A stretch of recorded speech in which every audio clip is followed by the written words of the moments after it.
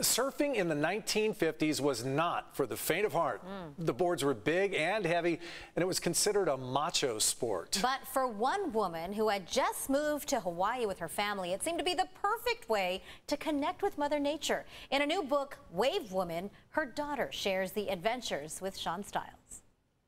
Wave Woman is a book about Betty Heldreich, a surfing pioneer, no, a surfing frontierswoman, written by her daughter. But to say she was just a surfer is an understatement.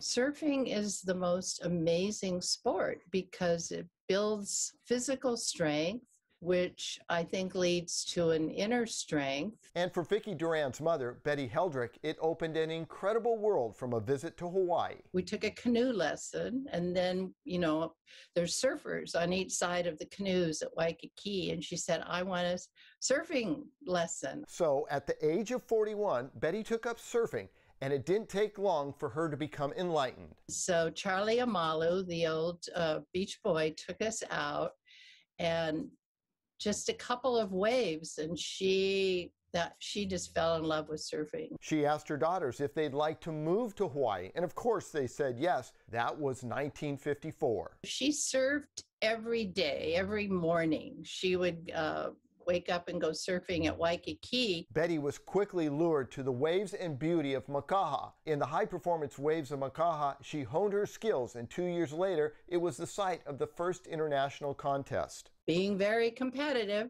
she entered the paddling and she won that. And then the, the surfing, she took second place. The following year, the contest was in Peru. They went there in 1957, and that's where Mother won. She beat Ethel finally and came home with the big silver cup and many and a special love for Peruvians. It was Vicki's turn next. She won, which got them invited back to Peru. Our job was to make it look fun and feminine and something that they would all want to do. Betty returned to Hawaii to raise her family, but never stopped exploring, becoming a fisherwoman, potter, carpenter, boat builder, poet, and so much more, always looking for a challenge.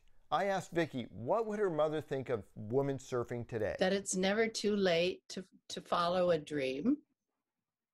And also that you can um, believe in yourself and do what you want to do. So in the book, Wave Woman, you can see Betty did an amazing array of things throughout her life. But I got to tell you, if you're going to pick this book up, call ahead because I only found one copy here in La Jolla. We'll send it back to you in the studio.